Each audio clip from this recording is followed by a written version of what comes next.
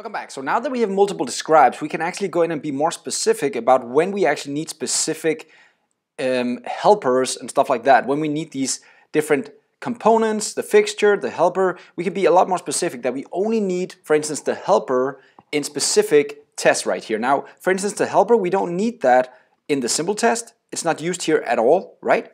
We don't need the helper inside the navigation test, it seems. Right now, we don't use that at all. But still, we're defining it at the top, and it's. It, I just want to show you guys how easy it is to actually say, let's only use the helper in this describes where we actually need the helper. So what we're going to do is we're going to open the describe right here, and we're going to go in here and say, this is the area where I need a helper. So let's just take the helper from up here, the global variable right here, and just put it into this describe instead. So it's not available anymore to our entire, entire setup.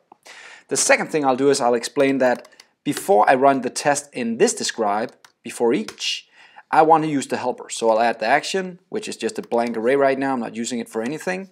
There we go. And then I'll go in here and I'll place my initializer for the helper. And it's very simple. It'll just be a new constructor. So new helper. And I'm pretty much done. There we go. So now I've explained that this code part right here is going to need the helper, right? And I can now do the same thing because I also need the helper for the second part down here. So let's just go. I know I also need the helper if I go down here in the delete area this guy, he also needs the helper. So let's just place him in there as well. Now the point is just, if you want to again, make your code even simpler to read and you want to be very specific about what you need in the specific describes, you can just add it like this. You don't have to add everything globally.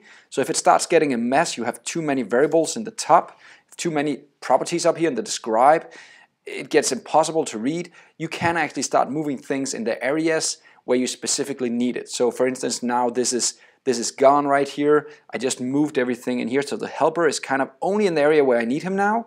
let's do the same for navigation because I know that later on I'm going to use the location and the router. So let's try and add those in this describe right here because I want to use location later on. Location. There we go. And I'll get the location by actually calling testbed get location like this. Boom. So again, it's only needed in this test. It's not needed outside of this test. So that's why I'm putting it in here. And let's do the same for the router. So I'll just make another one here. There we go. And I'll just add the router down here and the same idea. I'll use the test bed to get the router. So now we have a router as well and I'll just get rid of this router down here. Boom.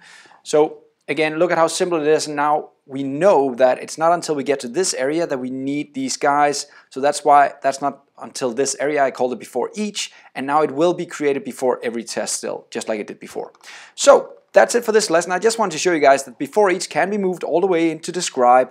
And you can actually even move the test if you wanted to. You can move the test out here like this, or sorry, the before each out here like this, and it would actually be used in any area after this line right here. Okay, so it's synchronously being read, so it's okay to put it here as well. Then it would mean that every time after this guy, the tests after that one would actually have these guys available, right? So it's again, it's up to you when you want where you want to place them.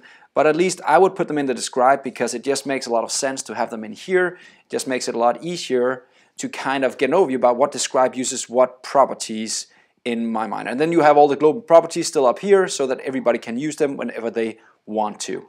So that's it for this lesson. That was a simple way to kind of see how you can use the before each to figure out what you actually want to show. Have fun. See you next time.